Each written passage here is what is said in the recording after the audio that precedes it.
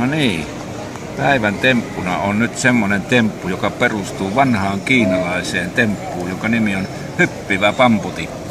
Mutta minä kun optikkona ja pyknikkona on tehnyt sitä omaa version, niin ennen vanhaa kun semmoisia timantteja pantiin silmälasin reunaan koristeeksi, niin nyt minä teen sen sillä tavalla, että tässä on tyhjä pleksitikku. Se on tämän näköinen tältä puolelta, tämän näköinen tältä puolelta.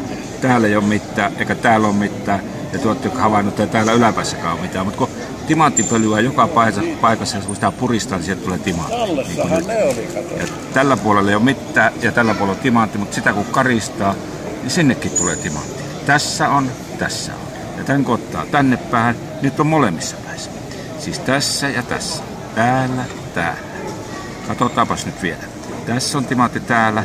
Kun se on herkkiä liikkuva, pam, niin sepä liikkuukin tänne. Eli nyt on niin, että näissä on molemmissa. Ja yksi, kaksi, kolme. Nyt tuli tänne ja taas on molemmissa. James Bond Vilmissä timaatit on ikuisia. Onko?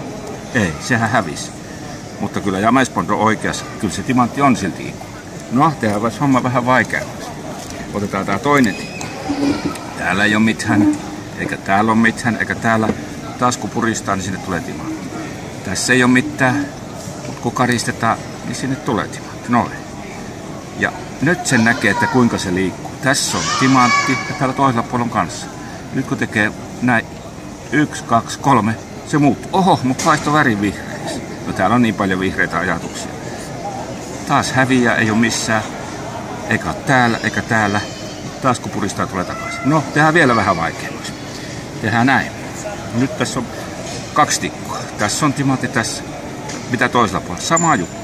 Näin. Ja nyt kun te yksi, kaksi, kolme, nyt tuli tähän.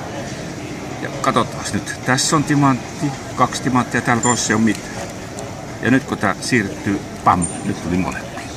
Että kyllä on ihmeellinen asia tämä kiinalainen höppivä pamputikku, timanttiversio.